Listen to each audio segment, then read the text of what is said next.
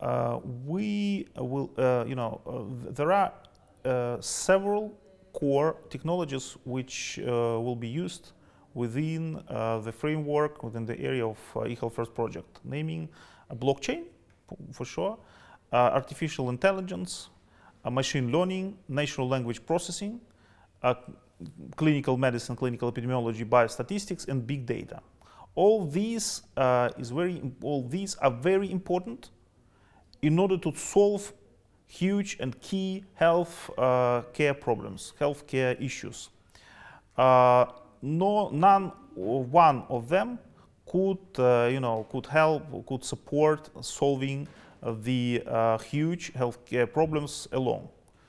Only artificial intelligence with blockchain, with big data, and with clinical medicine could be the solution.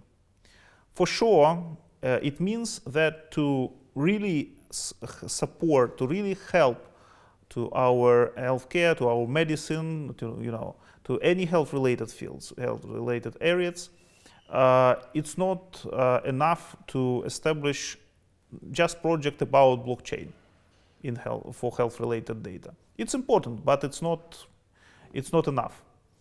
On the other hand, it's not enough to build a system for artificial intelligence or telemedicine, for example. Telemedicine is not uh, the solution for majority, most part of people.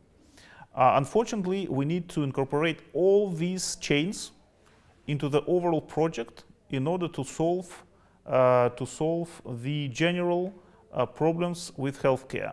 What are, what are the problems with healthcare?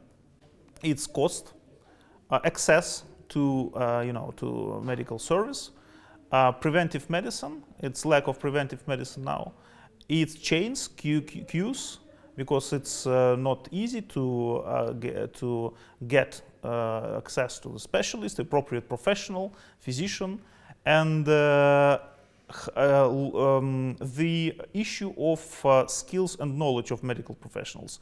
It's implicit thing, but it's very important also uh, because you know you, you, you should be sure, you must be sure that your doctor, your physician are well qualified and is able to get you uh, high quality, uh, high quality contemporary, uh, contemporary medical service and healthcare service. You should, uh, you know, trust your doctor and to trust him or her, you should be sure about his or her qualification. All these problems could be solved uh, uh, with our project eHealth First.